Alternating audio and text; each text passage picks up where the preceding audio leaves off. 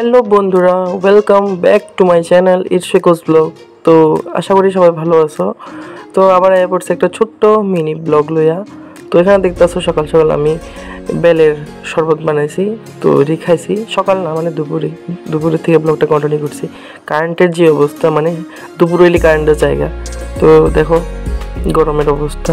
তো আমি চুটুল কাটছি, কেমন লাগে? দেন আমি স্নান টান করে এলাম তো স্নান করে এখন যাব ভাত খেতে।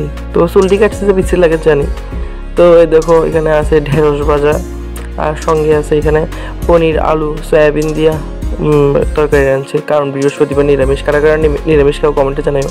আবার বিকালে আমি একটু বাইরে বেরোলাম একটু ঘুরা, ফিরা করতে আর কি।